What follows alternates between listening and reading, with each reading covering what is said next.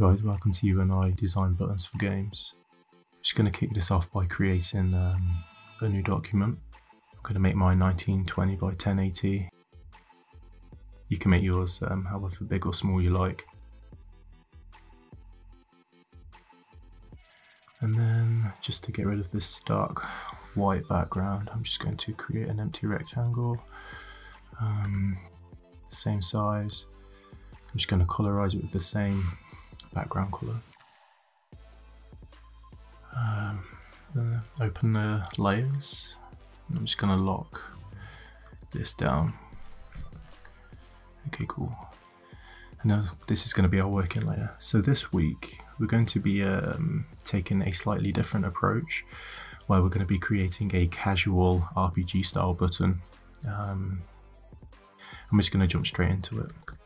So let's do 300 by 100. That's looking pretty good. Um, decent size.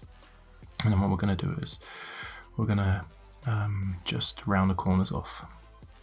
So let's just do 50 and that should give us a, a, a perfect curve there because our height was 100 and the radius is 50 there and 50 there. And then what we'll do is we're really going to be using the um, appearance panel a lot during this um, tutorial guys. Um, I mentioned uh, the power of the appearance panel in the previous tutorial um, and today I'm going to show you how we can create a really cool looking button with just one path and that's this path here. So I'm quite excited to get started with this one. So we're going to start this by creating a, a gradient ramp and press G and I'm just going to adjust the ramp so it's lighter at the top and darker at the bottom. I'm going to reduce the value a little bit the, the lightest point and I'm going to just increase the uh, brightness of the darkest point. And that's looking pretty good. Um, yeah, that's great. So in order to do this, what we're going to need to do is we're going to basically be layering up um, these fills and strokes and in, and the layering process is going to allow us to um, build up styles basically um, that create our final result. Um, so what I've just done there is I've duplicated the initial gradient and I've dragged the handles in so we've got quite a tight pinch there. So it's really bright at the top and darker at the bottom. And I want to remove that darkness so I'm just going to go into the um, blend mode and just um, select screen. And now you can see we've got it's really bright at the top there. It's looking really good. Um, and then what we'll do is we're going to start using these strokes here. So we're going to drag our strokes to the bottom um, and the reason why is because we want a stroke around the outer radius. Um, so what we'll do is, I'm going to make this 30. Yeah, it's looking good already. Um, and just for a um, just for efficiency, I think I'm gonna drag gradient there so we can just select it quite quickly. There we go, that's cool. And then we'll open the gradient panel and I'm just going to set this to minus 90 and see how that looks. Yeah, that's great because that's light at the top and dark at the bottom. And what we're going to do is we're going to duplicate this stroke and then open the gradient panel again. I'm just going to dock that into there. And then what I'm going to do is with the new stroke we've just created, I'm going to put a 90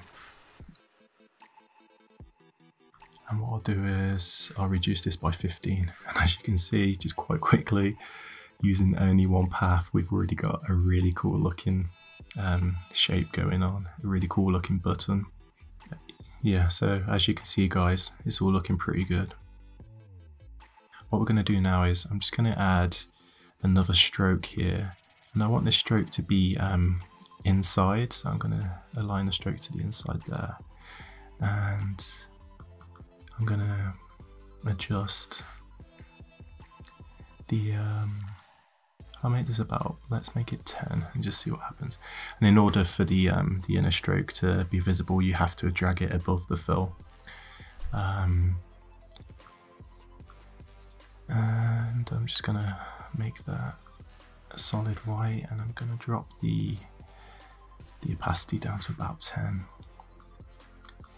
Actually 10's quite heavy, so I'm just gonna half that and let's just see what we've got going on here. Yeah, yeah that's looking actually um, pretty good. Um, now you might be wondering at what point am I going to colour this and why am I making it black and white first? Well, the reason why we do it in black and white first is because um, uh, shortly we're going to be um, applying colour over the top and you're going to start to sort of see the full power of um, approaching your buttons with um, with this type of um, process, um, grayscaling and then applying the color over the top. So I'll just do continue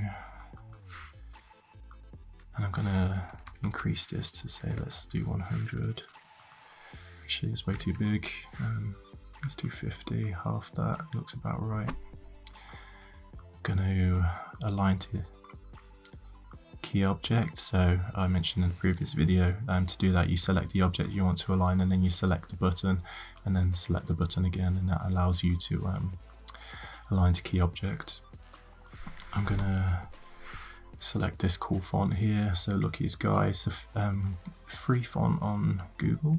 Um, Google Fonts, really cool. I'm going to add a drop shadow here. I'm going to zero out the blur because we actually want this quite hard. But we don't want the y-axis um, that heavy, so I'm just going to lower that. And then I'm going to set this to about, let's do 10.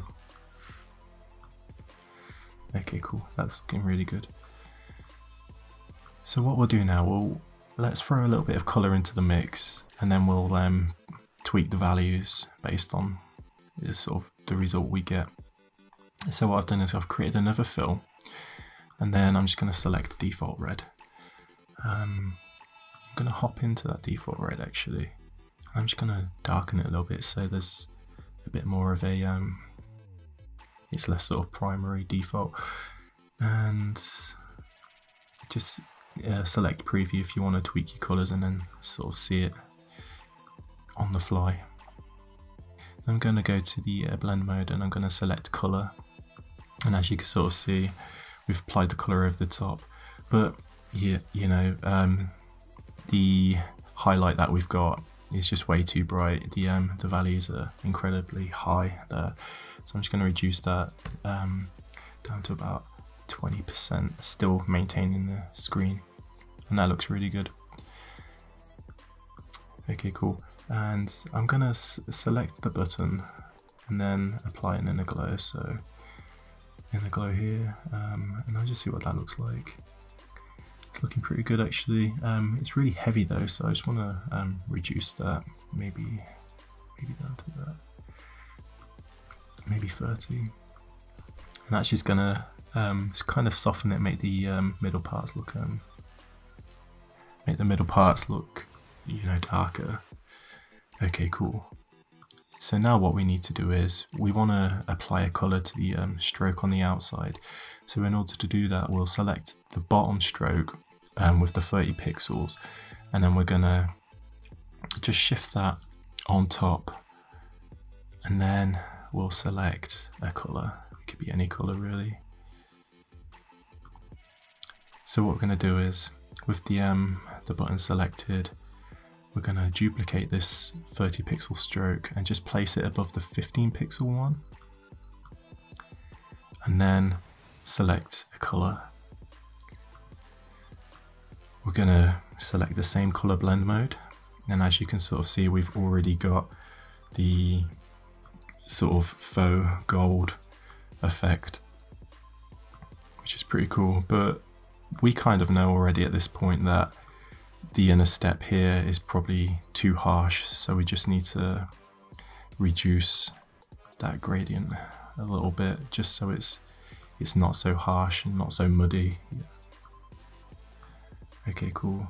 And then we're going to create another stroke.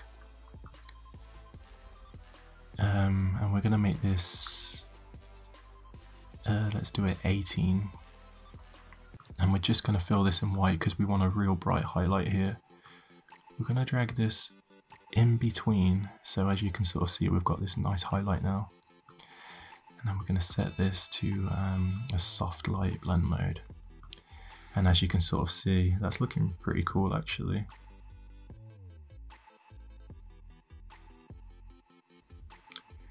So what we want to try and do is, is um, probably just try and get a little bit more depth out of this area here.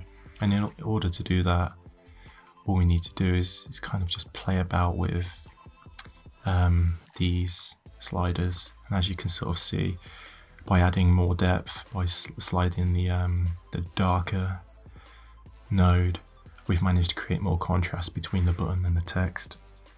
And that's looking um, really cool actually.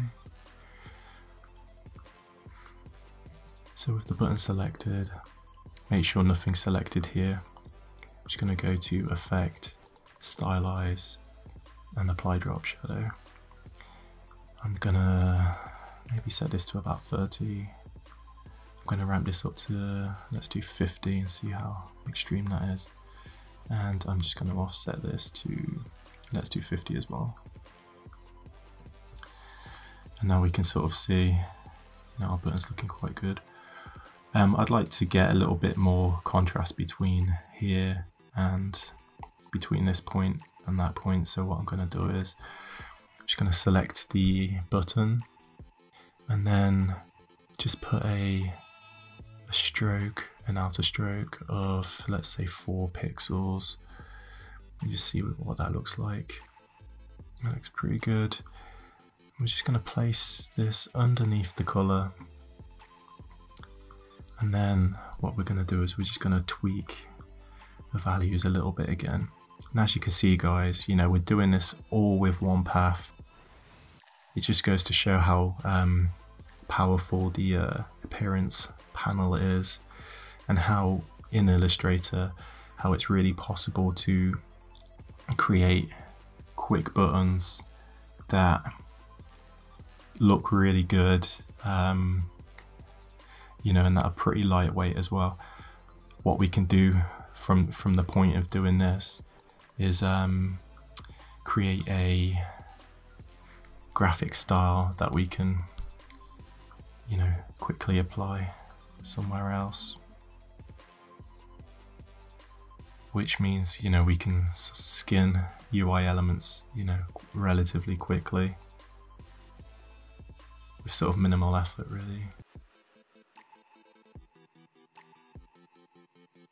So yeah guys that's um that's the uh, the button build. You know I hope you enjoyed that. Um, relatively quick it was wasn't it? Um, didn't take much time at all. But before we go I just want to show you one really useful tip. Um, just head up to window and then go to uh, graphic styles which is here. Um, and by default you will have these um, but what we want to do is we want to create a new graphic style with the button we've just created so we're going to add that there and as you can see it's just added it in and say for instance we wanted to create a panel style that look like this Let's just um, align it to the button. Cool, that's looking good. And then all you need to do is select that, send it backwards, and you've already got, you know, the makings of a relatively quick, you know, UI style. It didn't take long. Um, you can round the corners as well if you want to keep it consistent and go for 50 for now. Um, and you can see just just how powerful the um, the process of building UI elements is when you approach it from this direction.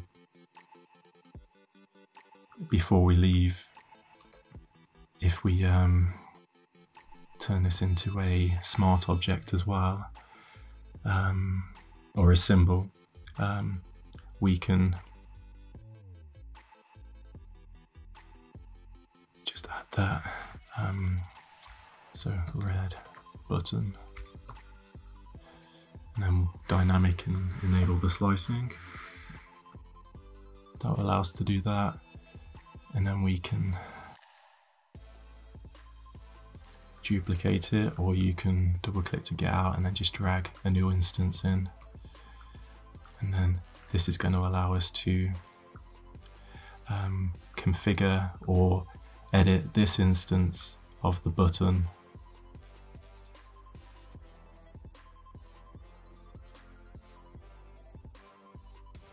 can see just how easy, how quick that was.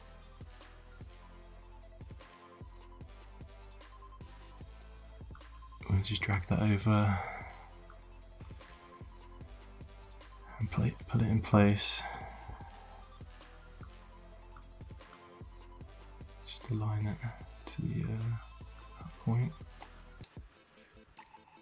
So just by using graphic styles, the appearance panel in conjunction with the gradients and a few other um, subtle effects, you can see how quickly and easily it is to create these simple casual style UI buttons.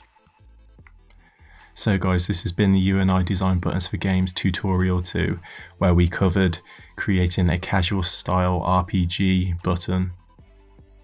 You can take this button, you can do whatever you like with it, I encourage you to build your own button, experiment and see how flexible this process is and how it's going to speed up your workflow for creating UI assets for games.